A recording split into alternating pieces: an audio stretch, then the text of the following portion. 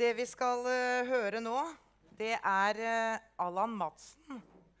Han er eh, uh, IKT-veileder i det som heter Institutt for kommunikasjon og handikap i Århus. Jeg heter Hedda Ekstrøm. Jeg jobber i Slott i Statped. Dvs. Si at jeg jobber med læringsressurser og teknologiutvikling. Og vi har hatt veldig stor glede av å få hjelp av Allan når vi skulle lage et prosjekt om diktering på iPad for elever på skolen. Eh, uh, Allan har jobbet med talegjenkjenning og teknologi i veldig mange år. Og han er en av de som både driver med utvikling, forskning og arbeid direkte med brukeren. Han har stadig kontakt med brukere, ofte så vidt jeg vet, voksne dyslektikere som skal lære å bruke teknologien sånn at de skal ta igjen livet sitt og få lov til å gjøre det de vil. Så da tror jeg vi bare gir ordet til Allan. Ja. God dag. Hvis jeg gerne vil se min mobiltelefon heroppe, så er den heroppe nu. Jeg har glædet mig meget til at komme til Lillestrøm for at fortælle om talegenkendelse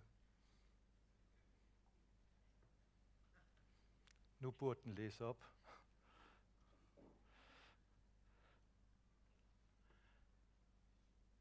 Sådan er det nogle gange med teknologierne. Så virker den ikke helt, som den fungerer.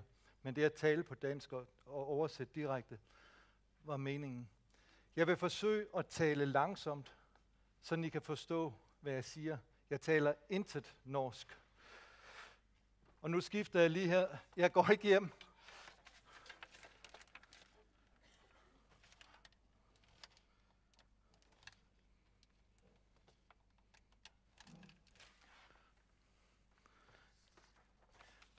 I Danmark har vi haft fødselsdag. Faktisk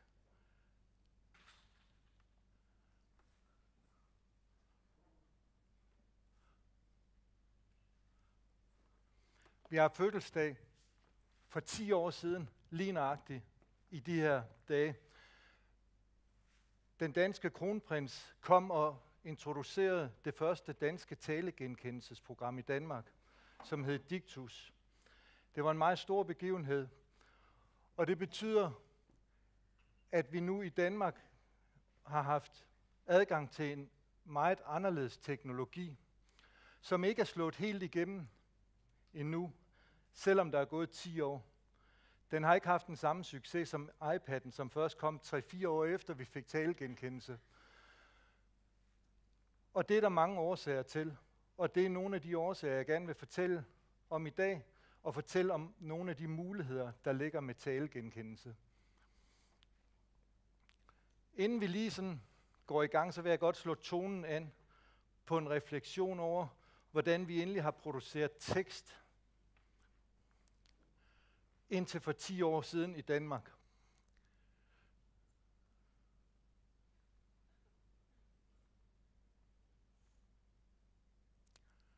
Så kommer der noget helt andet.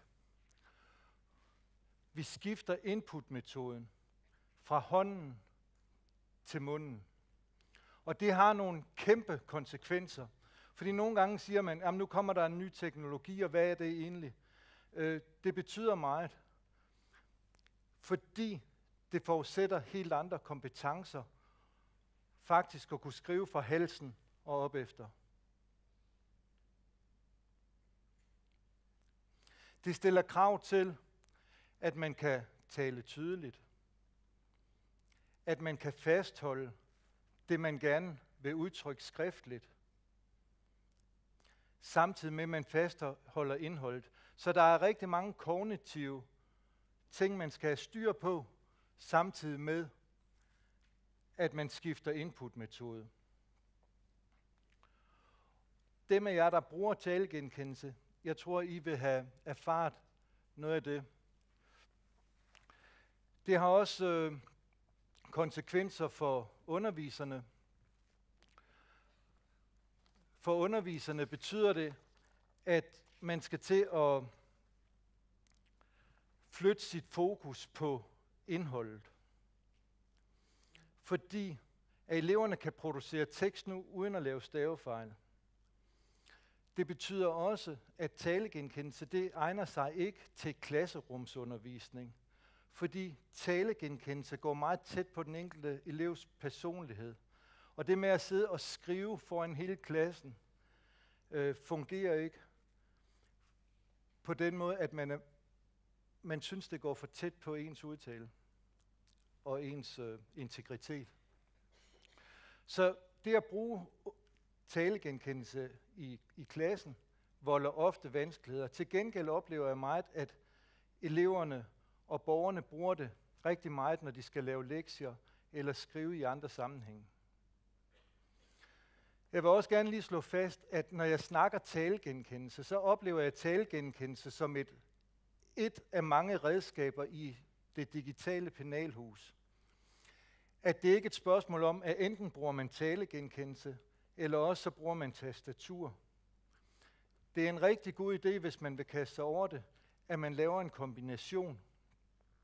Således at man både bruger tastaturet, øh,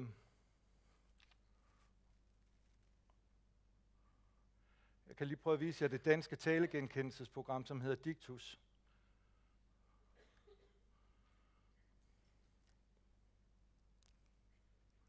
Nu har jeg ikke slået en, øh, et andet headset til. Det, der er fordelen ved det danske talegenkendelsesprogram, som vi har haft i 10 år, det er, at det ikke er netafhængigt. Det kører ikke på internettet. Det er installeret direkte.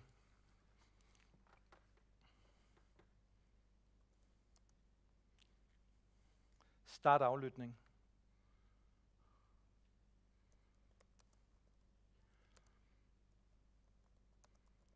Fest.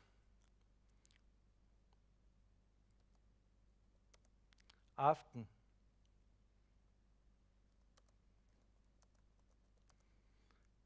flyve til Danmark igen.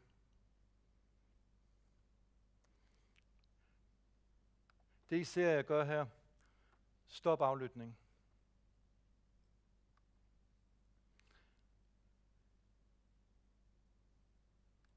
Det I ser, jeg gør her, det er, at jeg laver en kombination. At jeg skriver, og når der kommer ord, man kan være i tvivl om, hvordan det skrives, siger man det højt, så skriver man videre. Dermed går man fra noget, man kender i forvejen, til det andet. Og så føles øh, overgangen fra tastaturskrivning til talegenkendelse ikke så stor. Og den måde oplever jeg rigtig meget succes med, blandt andet fordi, at eleverne så ikke anvender synonymstrategier, som de ellers er vant til. Så går de i stå i deres skriveproces, fordi, åh, hvordan var det nu, jeg stavede det ord? så skal de ind på Google og finde ordet, eller også så omformulerer de deres sætninger, og så bliver det meget tungt at skrive.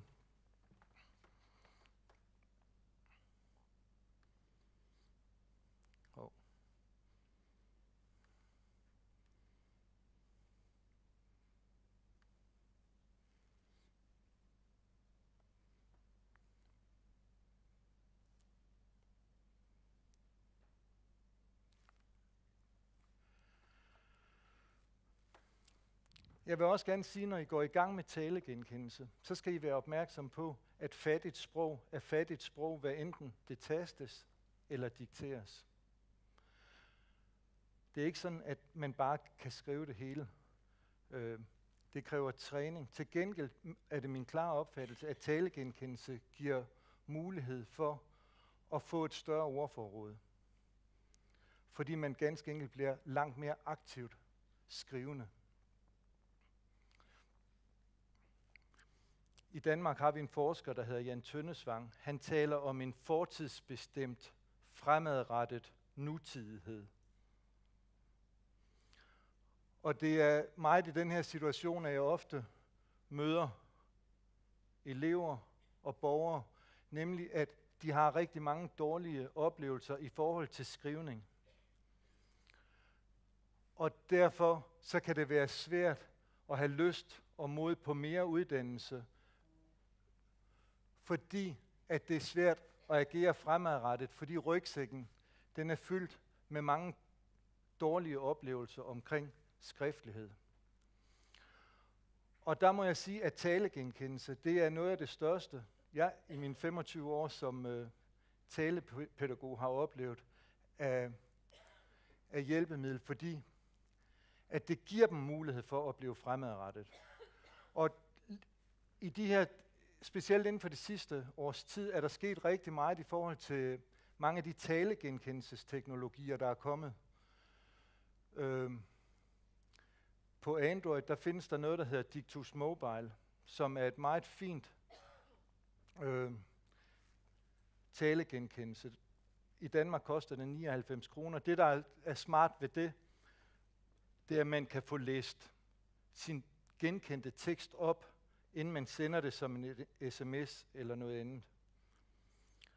Og det er en vigtig pointe, det der med, at jeg lærer aldrig nogen talegenkendelse, uden at de i forvejen har kendskab til oplæsningsprogrammer. Fordi at det kan være svært at lave noget tekst, hvis man så ikke kan se, selv læse, hvad, hvad er det egentlig, den har genkendt. Er der fejlgenkendelse? Så skal man være i stand til at, at kunne sende det videre, eller læse det op, inden man sender det videre. Så er der det engelske Dragon Naturally Speaking, og der er øh, Dragon Notes til Windows. Og det jeg måske skal sige til jer alle sammen, det er, at næsten hvilken, uanset hvilken indpakning, at I oplever talegenkendelse, så er det alt sammen lavet af, af et stort firma, der hedder Nuance. Det er dem, der står bag de forskellige teknologier. Det er også dem, der står bag den indbyggede talegenkender på Mac-computer. Ved I alle sammen, at der er indbygget talegenkendelse, hvis I har en Mac-computer? Det ved I godt. Øh.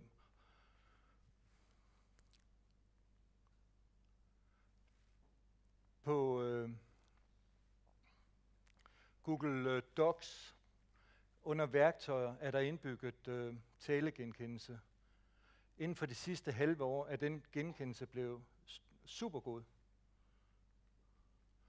Der er indbygget talegenkendelse på, øh, i tastaturet, både på iPhone og på Android. Og så har jeg selv øh, lavet min første app.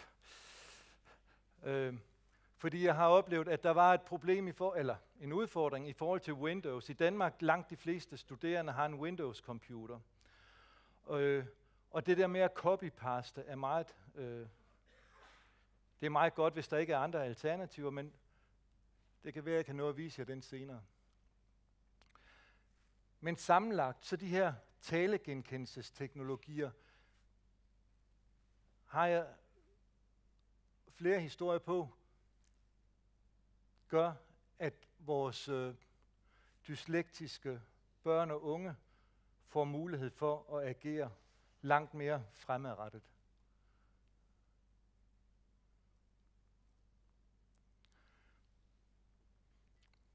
Hvilke typer af elever, dyslektiske elever, kan have glæde til talegenkendelse? Spørgsmålet er lidt dumt på den måde, at min erfaring det er, at alle kan have glæde af det. Øh, det er dumt, fordi at mange de har det liggende i lommen og bruger det. Øh, når jeg kan se,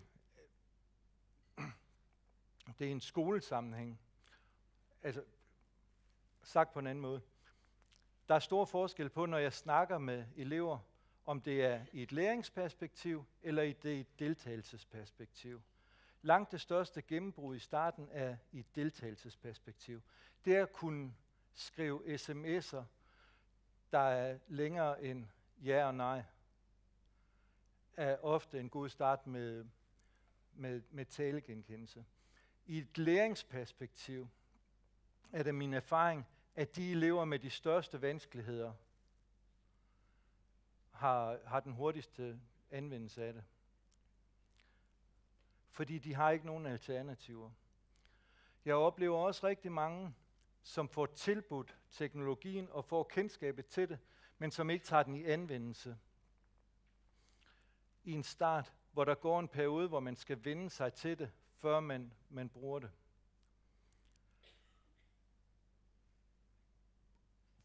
Fordi at det er lidt anderledes, hvis man kun, kun skal anvende vende det på den måde. Og, og det kender vi jo godt. Øh, jeg har selv fået sådan en smart ur her. Og det er også ganske grænseoverskridende for mig at bruge det, hvis min svigermor ringer øh, hen i brusen, og, og jeg står hen i og snakker til min telefon. Øh, jeg tror, det tager tid. Øh, specielt kan jeg opleve mange, at, at de kommer sig over talegenkendelsen. Specielt i forhold til deres smartphones. Der, hvor jeg oplever rigtig stort potentiale, det er også elever med sammensatte vanskeligheder, hvor det ikke kun er et spørgsmål om dysleksi, men også nogen med forskellige bogstavbetegnelser, som for eksempel ADHD, struktur osv. Tidligere var det rigtig svært, hvis man havde begge dele, og udnytte mulighederne i sin, øh, i sin smartphone. Nu er det lige til højrebenet at bruge sin kalender og sine påmindelser ved at, lave, ved at indsætte tale øh, påmindelser. Det undgik de tidligere, fordi det var svært at stave til de øh, beskeder eller aftaler, de skulle, øh, skulle overholde.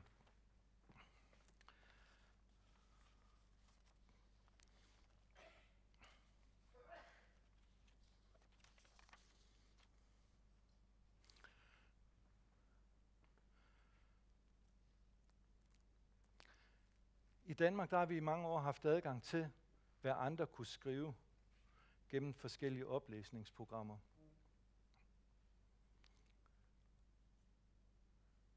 Men det selv at kunne deltage i skriftlig kommunikation, er der rigtig mange eksempler på, at, at nogen de kommer til at folde sig meget ud, fordi der bliver, bliver overensstemmelse mellem det, man har lyst til at skrive, og det, man rent faktisk kan skrive. Og jeg tror ikke, man skal undervurdere betydningen af at være skriftligt deltagende i kommunikationen. I hvert fald i et psykologisk perspektiv, så kan man sige, at tidligere var det sådan, at, eller i Danmark siger man, at det, der kommer ind gennem ørerne, det giver selvtillid. Men det, der kommer ud gennem munden, giver selvværd. Og den der selvværdsfølelse og kunne agere fremadrettet, øh, oplever vi stort, øh, store muligheder med. Jeg synes, det er rigtig vigtigt, at hvis I kaster jer ud i det her talegenkendelse, hvad I kommer til at gøre, håber jeg, det er, at det ikke er et spørgsmål om enten talegenkendelse eller tastatur.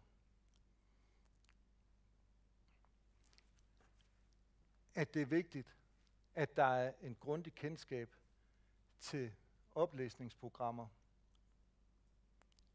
sådan at man kan kontrollere, om det, man har genkendt, nu også svarer til det, man ønsker at skrive.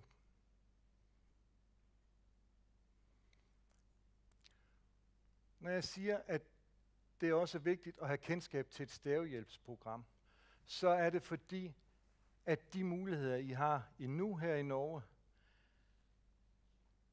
er, at I er afhængige af teknologien.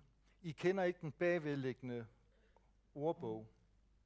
Og det vil sige, jo ældre elever I har, øh, og de skal skrive sig specifikt ind i nogle bestemte områder eller temaer, så ved I ikke, om den kan genkende de ord. Og det er ikke sikkert, at det skyldes elevens udtale, men det kan lige så vel skyldes, at ordene ikke ligger øh, i øh, ordbogen til den teknologi, I anvender.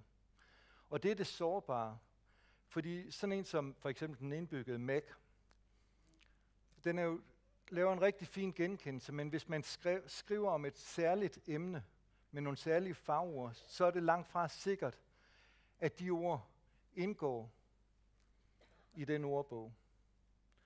Og derfor mener jeg stadigvæk, at vi er i sådan en overgangsfase, indtil vi har adgang til ordbogssystemerne. Og det kan jeg prøve at vise jer. Det har vi i Danmark på, på det, der hedder Dictus. Så skal der vises den der meget situationsafhængige situationsafhængighed, altså forståelse for det. Der er rigtig mange, som, det har jeg vel sagt, som bruger det meget derhjemme, og derfor kan det være rigtig svært, altså det er et svært program på den måde, at det kan være svært at komme ind på eleven. Eleven siger, jeg bruger det derhjemme, og det har man tillid til, det kan man også se, når de afleverer noget skriftligt.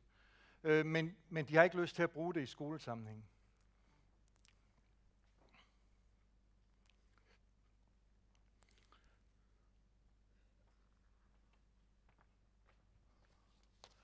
Det her det er en af, et af de områder, som jeg synes, der bliver mere og mere centralt at være opmærksom på, når I, hvis, når I kommer i gang med at anvende talegenkendelse.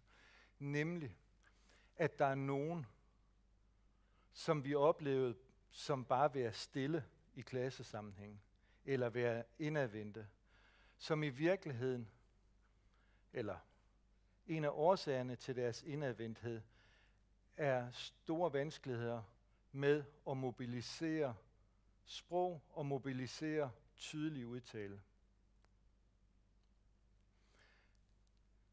Tidligere lagde jeg aldrig mærke til de elever. Jeg tænkte, det er en del af deres personlighed.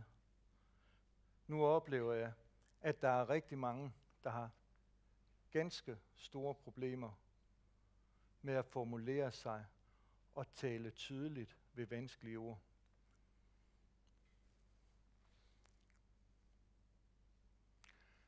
Lige inden jeg kommer med et bud på det, så kunne jeg godt tænke mig lige at vise jer øhm,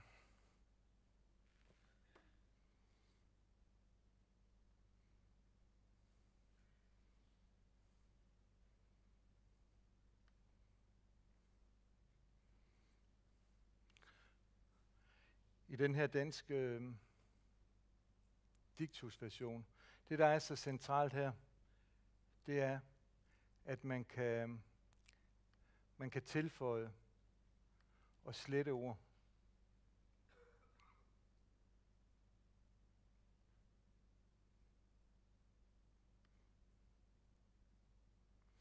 Jeg håber snart, I får mulighed for at få et talegenkendelsesprogram.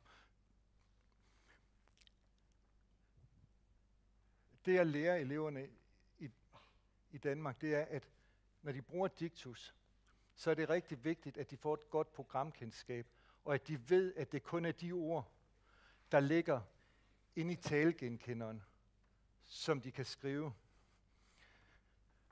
Hvis jeg vil skrive øh, Lillestrøm,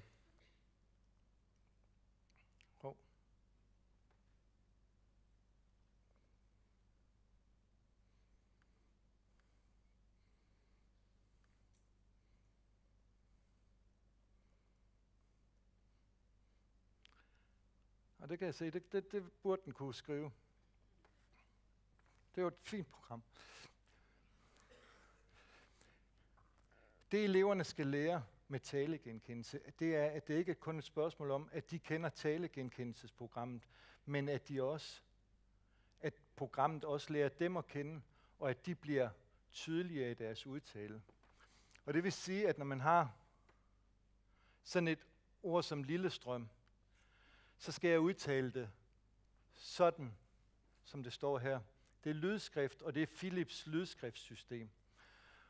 Og da jeg kommer fra en særlig del af Jylland, og tidligere boet på Fyn, så er det ikke sikkert, at jeg taler ligesom Philips gerne vil have mig til. Så derfor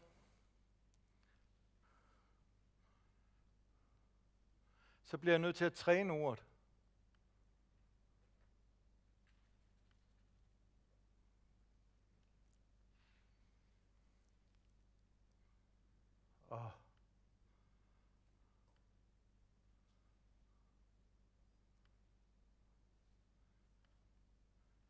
Lillestrøm.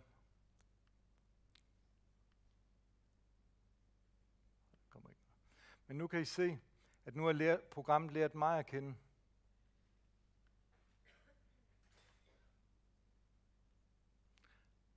Det bryder sig ikke om, at der er så mange forskellige ting på heroppe. Her kan I se, at de fire nederste, det er min måde at sige lille strøm på.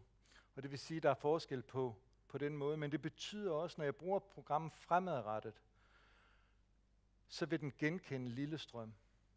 Og det er en kæmpe fordel for de elever, der har udtalevanskeligheder. Fordi man kan lære de programmer her og genkende det hele, hvis man træner nok. Det kræver bare, at man er klar til at bruge en længere periode i starten på at træne. Sådan programmet lærer ens udtale at kende.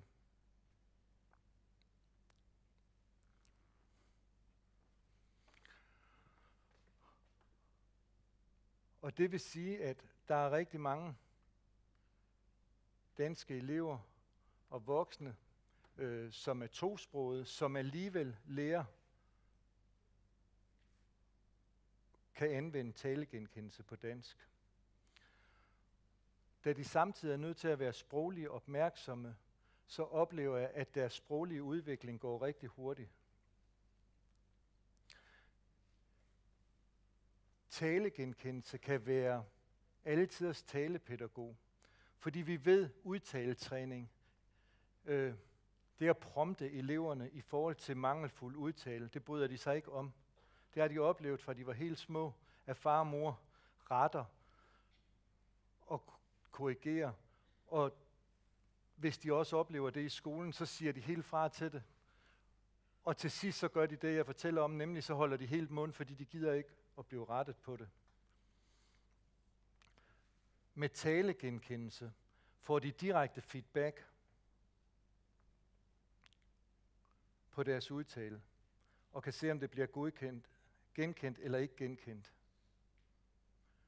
Og det vil sige, at talegenkendelse giver mulighed for at træne udtale. Og den sproglige opmærksomhed, det giver, giver mulighed for at komme til at stave bedre på den lange bane, fordi at man ganske enkelt kommer til at tale tydeligere. Jeg kan rigtig godt lide her i Norge, der kalder I det dikteringsprogrammer. I Danmark kalder vi det talegenkendelse. Og der bliver det ofte forvekslet blandt både lærere og brugere ved, at man skal tale til det. Og det skal man ikke. Man skal diktere. Man skal tale meget tydeligt og have afstand mellem ordene, for at der sker en korrekt genkendelse. Og det at gå i dikteringsmod kræver noget øvelse. Og for at kunne gøre det, jamen, så har, er man nødt til at, at have den her sproglige opmærksomhed. Jeg har lavet øh, mit første bud på, hvordan kan man give øh, elever mulighed for at træne deres egen udtale ved svære ord. Øh, jeg har fået nogle penge fra ministeriet, og, øh, og jeg er ikke færdig. Det er første gang, jeg viser det. Øh, men han lavede sådan en... Øh, inden jeg lige gør det, så skal jeg lige... Øh,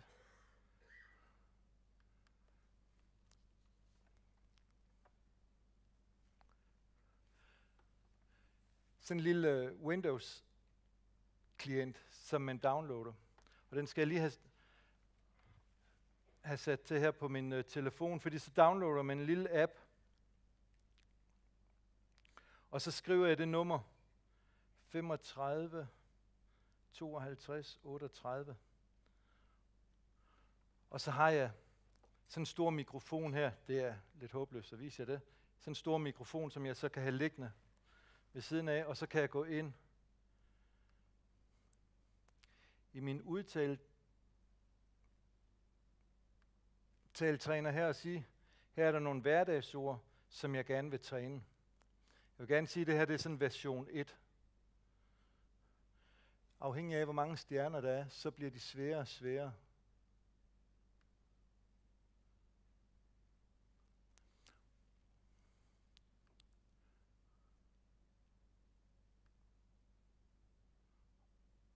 Ja.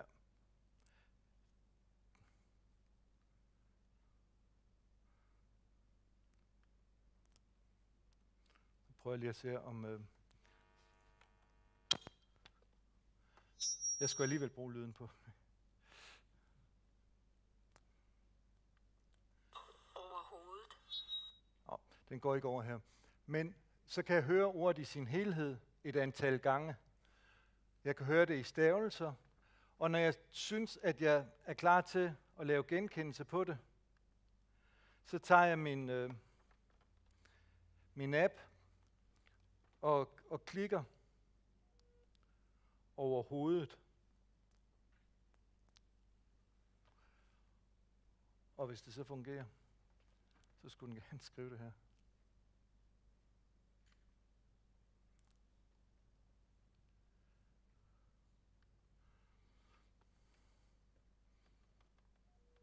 Overhovedet.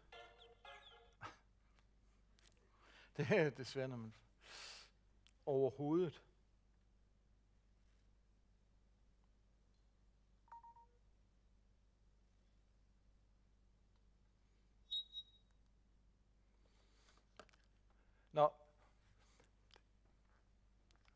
Min hensigt, det er, at når jeg får skaffet nogle flere penge, det er, at lærerne selv at lærerne selv kan lægge ord ind. Sådan at man kan tage udgangspunkt i elevens specifikke vanskeligheder, og så få dem lagt ind, sådan at eleven kan træne dem, men at læreren lægger lyd til, sådan at man øh, kan få trænet det her.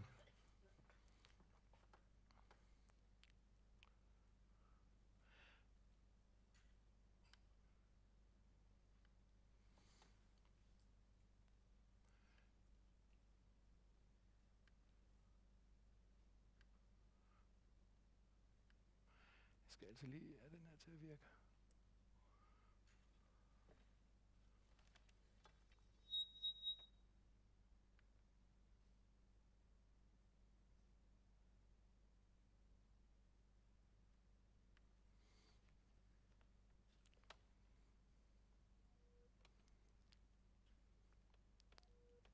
Dette er en test.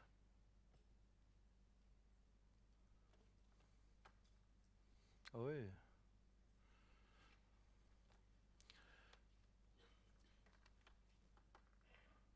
Det jeg har gjort med den udtaler, med den app, det er, at jeg så har koblet den sammen med, med den her. Og det betyder, at uanset hvor jeg er henne på, på Windows, så har jeg min telefon liggende ved siden af, og så kan jeg skrive alle steder på Windows.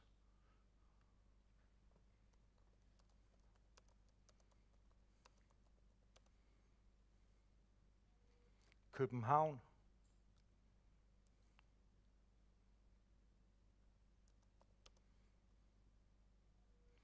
Weekenden.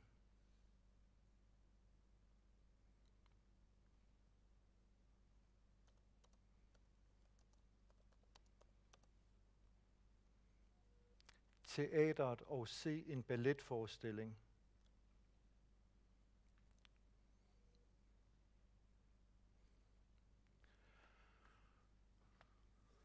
Men den der kombinationsskrivning, og kunne skrive alle steder, altså mange af de oplæg, der har været i formiddag, har jo netop snakket om tilgængelighed. Det der med, at det er vigtigt, altså, hvis man kan skrive direkte ind i, øh, i, øh, i Word eller i...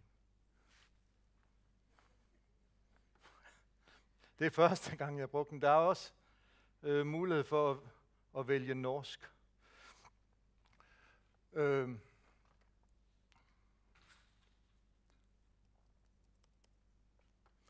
Det, der er sket med talegenkendelsesteknologierne, som I lægger mærke til, det er, at, at for to år siden var det ikke muligt at kombinere skrivningen, fordi talegenkendelse øh, genkender ud fra to principper. Den ene måde, det er ud fra konteksten. Og det vil sige, at tidligere fungerer talegenkendelsesprogrammerne bedst, hvis man dikterede en hel sætning ad gangen. Men da teknologierne er blevet bedre her, inden for de sidste specielt halve år, fordi at der sker det, de kalder øh, deep learning, og de bruger nogle kæmpe algoritmer ved at samle big data sammen, og ud fra det gætter kvalificeret på, når der kommer de lyde ind her, hvad skal der så stå? Så er der sket det, at det blev meget mere sikkert nu også at genkende på enkeltord. Og det giver nogle helt andre muligheder, netop for den der kombinationsskrivning.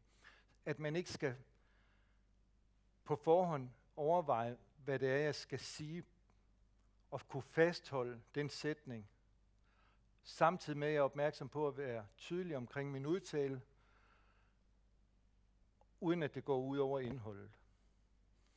Jeg tror, det er vigtigt, hvis I går i gang med det her, at I siger til eleverne, det her, det er ikke ligesom alle de andre app, I kender. Normalt er vi vant til, at hvis en app ikke fungerer efter 5 minutter, så er det noget lort. Og så ud til venstre med den. Talegenkendelse handler i virkeligheden om at lære at skrive. Og ofte synes jeg, at det klinger for mange, specielt af de ældre elever, at nu har du gået ni år i skole, du kan stadigvæk ikke skrive. Er du hook på at bruge mellem tre og seks måneder på at komme til at kunne skrive alt. Men det kræver hårdt arbejde. Og det er i den størrelsesorden, jeg tror, man skal introducere det. Jeg læste den øh, rapport, som øh, Hedda har været med til at lave, øh, hvor de netop kom ud i den der situation med, at internettet ikke duede i en periode, og den der frustrationer, øh, elever naturligt oplever. Jeg tror, det er vigtigt, man går forud for den og siger, det her, der vil være perioder, hvor vi har armene op, og der vil være perioder, hvor armene kommer ned igen.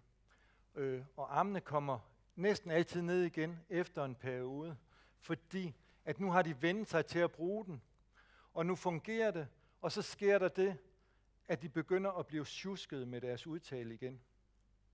Og så skal man lige sådan stramme op, men så er det rart, at man kan stramme op indad og sige, nu er det dig, der skal give den lidt ekstra gas her igen. En anden ting, som jeg lægger stor vægt på, når jeg kommer ud til mine elever, det er, at øh,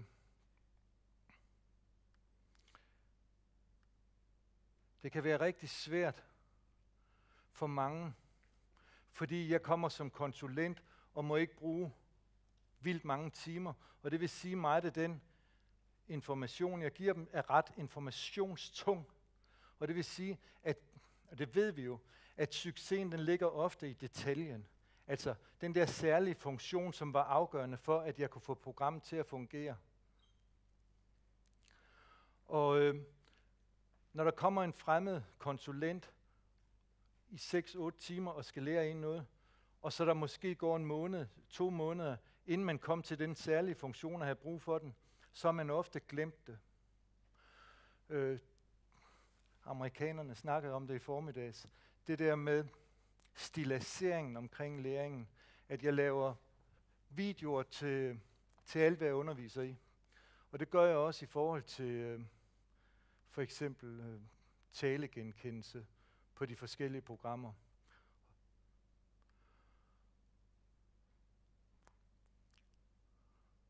Og øh, det starter jeg faktisk altid med at sige til dem, at inden vi går i gang med undervisningen, så skal du vide, at du har adgang. Alt det, jeg lærer dig, kan du se på, øh, på videoer.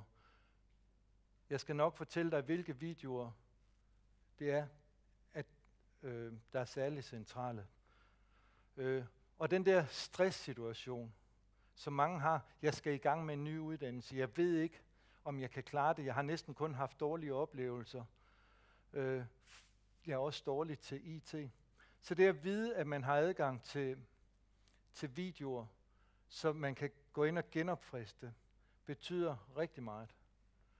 Øh, og det jeg også gør ved nogle af dem, øh, fordi jeg vil rigtig gerne have den der undersøgende tilgang til det, det er, at jeg, jeg har mulighed for på den side, jeg har lavet her, at dele videoer, så jeg sender de relevante videoer til dem på forhånd, og så har de set men jeg kommer, og så har, jeg, har de den der, jamen det ved jeg, det ved jeg godt, øh, det har jeg styr på, jeg har øh, set det her.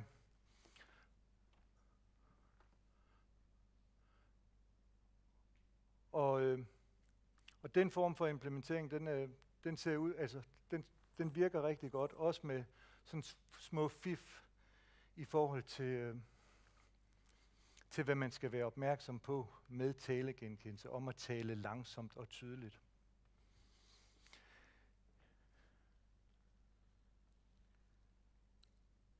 Jeg bliver nødt til lige at sige en ting til.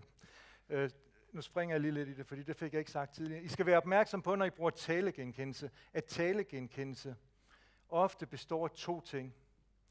Dem af jer, der har leget med Siri, ved at det er rigtig svært at få til at fungere. Øh, lad I mærke til, før da jeg startede det her diktus,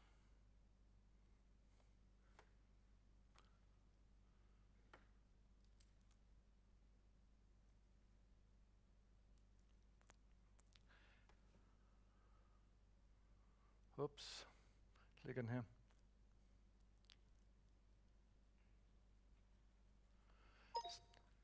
Start aflytning. Start aflytning. Start talegenkendelse. Så start dog. Den driller lidt nu. Ellers lag mærke til, hvis det, så kunne jeg sige start aflytning og stop aflytning. Det har intet med talegenkendelse at gøre. Stop aflytning. Stop aflytning. Det jeg gør her, det er stemmestyring. Det samme med Siri, at man styrer sin enhed med nogle bestemte kommandoer. Og det vil jeg gerne råde jer til at lade være med at starte med. Øh, de første år, jeg, vi har fået det her talegenkendelse i Danmark, der var jeg rigtig begejstret og var rundt og holde kurser for undervisere og for elever, og skulle vise, hvor dygtig jeg selv var. Og jeg sprang rundt i alle de her stemmestyrings, marker dokument, slet, gå fire ord tilbage, øh, og så videre. Og den kunne det hele. Problemet det er, at de ordblinde, og ikke ret mange, kan fastholde alle de stemmestyringskommandoer.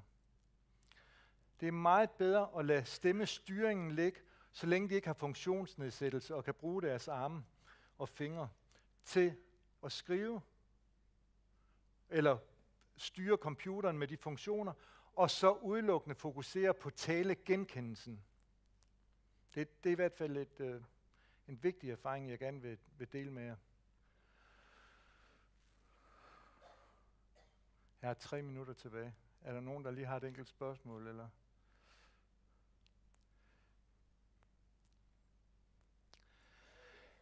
Ellers vil jeg gerne opfordre jer til at prøve at kaste jer ud i det.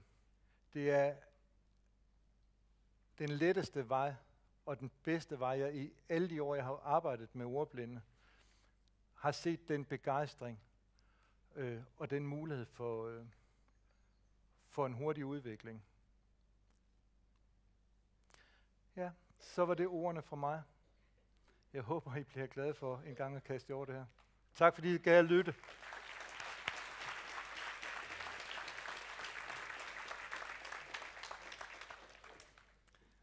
Da vil jeg si tusen takk til Allan, som har tatt oss med gjennom en egentlig en ganske stor teknologisk reise. Danmark ligger jo litt foran oss. I Norge så er det nå faktisk i gang Max Manus holder på å utvikle et program som skal ligne på Diktus på norsk. Vi håper at den første lille smakebiten skal komme til jul. Men uh, vi er jo ikke sikre. Men vi håper det. Så om et par år så har vi kanskje noe som tilsvarer Diktus i Norge, som går på PC. Takk. Takk.